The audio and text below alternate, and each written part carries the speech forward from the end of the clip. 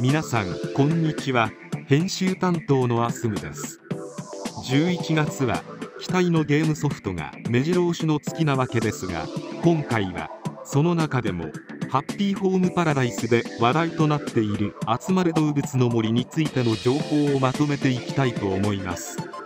ということで今回のゲームニュースは集まれ動物の森あつ森11月になってできるようになること2021年版。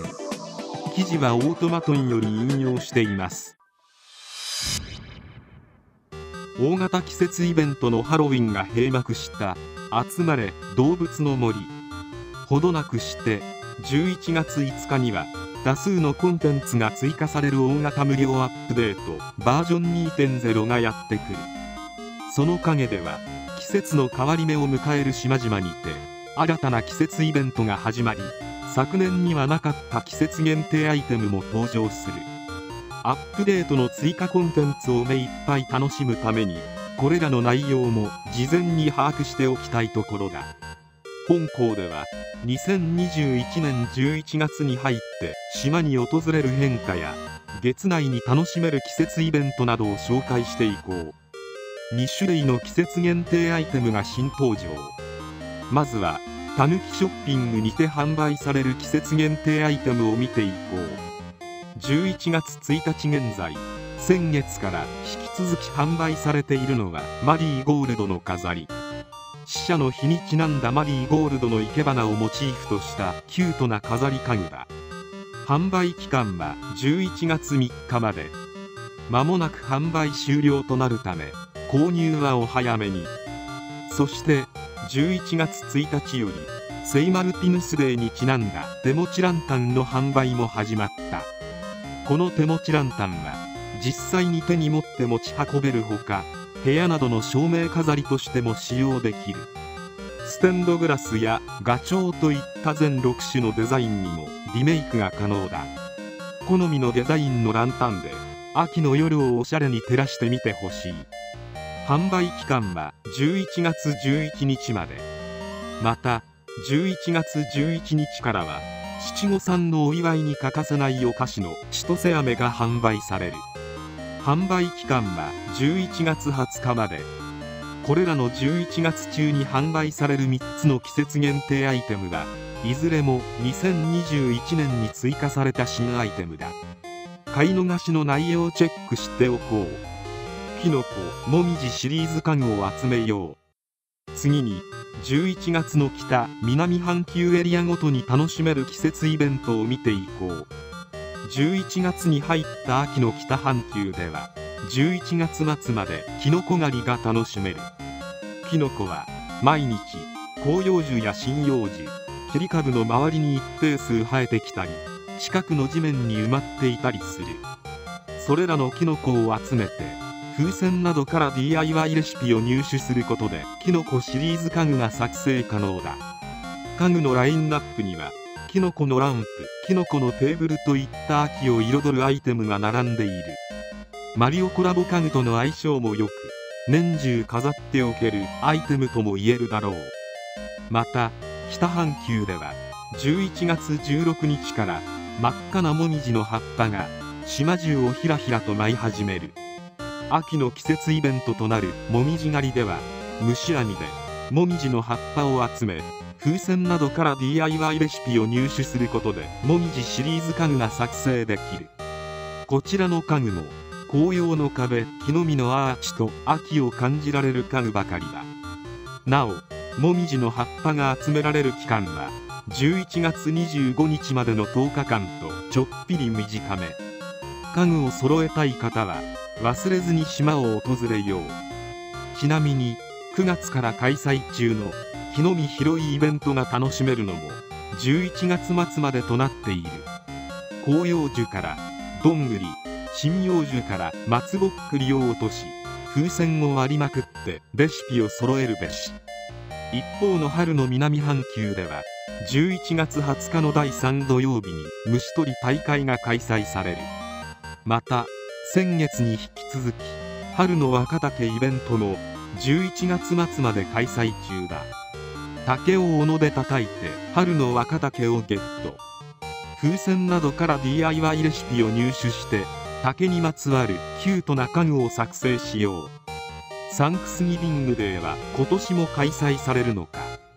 そして熱心な島民にとって気がかりなのは昨年11月に開催された北南半球エリア共通の季節イベントであるサンクスギビングデーの開催有無だろう。昨年のサンクスギビングデーは11月26日の9時から24時まで開催された。開催中は案内所前の広場に住民たちが集まり秋の収穫を祝うパーティーの料理作りに七面鳥のフランクリンが登場。取れたてのアサリやかぼちゃなどを調達しそれぞれの料理に必要な食材をフランクリンに渡すことで広場の食卓に美味しそうな料理が並べられた。そしてお手伝いのお礼として暖炉やテーブルベーススタンドといった家具や DIY レシピセットが入手できたのだ。そんなサンクスギビングデーだが本校執筆時点では2021年の開催については公式に言及されていない。果たして今年も開催されるのだろうか。2021年の季節イベントにおいてはたくさんのマイルがもらえた比較的小規模なアースレイのように前年通り開催されなかったイベントも存在する。したがって今年はサンクスギビングデーが開催されないという可能性は捨てきれない。しかしながらサンクスギビングデーは複数のイベント限定家具や DIY レシピが入手できる大規模な季節イベントであった。さまざまな料理を囲む嬉しそうな住民の様子やイベント専用の BGM など本沸かした雰囲気がにじみ出るイベントはファンの評判も上々。家具のデザインも好評で現在も島のレイアウトに取り入れているプレイヤーも少なくない。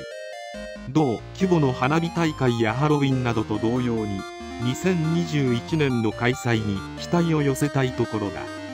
新コンテンツ特盛りの次回アップデートは11月5日配信予定。そしていよいよ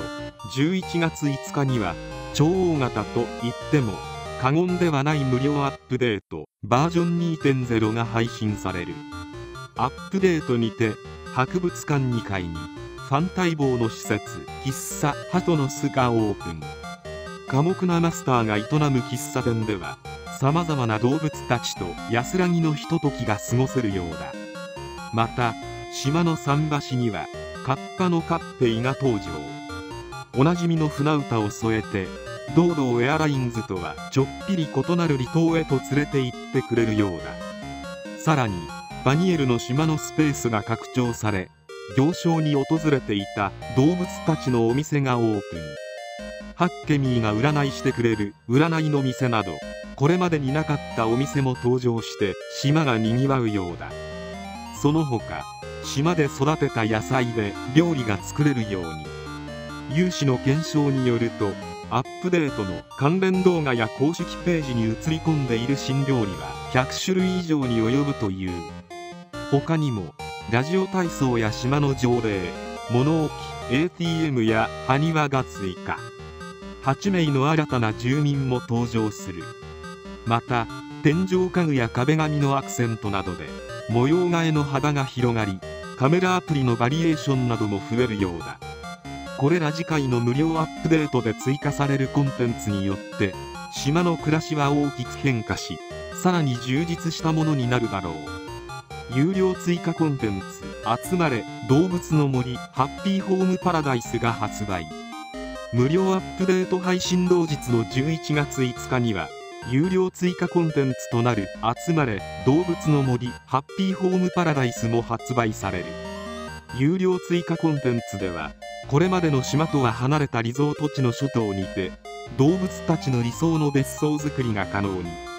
匠ライフのスタッフの一員としてテーマに沿った地形選びや建物の内装庭に至るまでを丸ごとコーディネートできるようになる。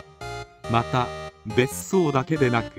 学校やレストランといった大きな施設の設計も行えるとのこと。新たな舞台に登場する新アイテムが自身の島に持ち帰って飾り付けに利用できる。またスタッフとして経験を積むことでこれまでの島の住民たちの家自体もリフォームの提案ができるようだ。こちらの有料追加コンテンツについても無料アップデートの追加コンテンツと同じく島暮らしの幅を大きく広げてくれるだろう。なお有料追加コンテンツ「集まれ動物の森ハッピーホームパラダイス」の販売価格は税込2500円となっている。また任天堂スイッチオンラインの新たな料金プラン任天堂スイッチオンラインプラス追加パックに加入することでもプレイ可能。いずれの場合も集まれ動物の森本編が必要だ。以上のように11月中に多数のコンテンツが楽しめる集まれ動物の森。発売以降長らく無料アップデートによってコンテンツが追加され続けた本作だが次回のアップデートが最後のコンテンツ追加アップデートとなるようだ。新たに追加されるコンテンツもライフスタイルに取り入れつつ今後は今まで以上にマイペースな無人島ライフが送れるのではないだろうか。以上が記事の内容でした。11月となりいよいよハッピーホームパラダイスの発売が目前となってきました。あゆなチャンネルではハッピーホームパラダイスを実況予定ですのでごうご期待ください。最後までご視聴ありがとうございました。よろしければチャンネル登録グッドボタンお願いします。あゆなのゲーム実況もありますのでそちらもぜひご覧ください。それではまた次回の動画でお会いしましょう。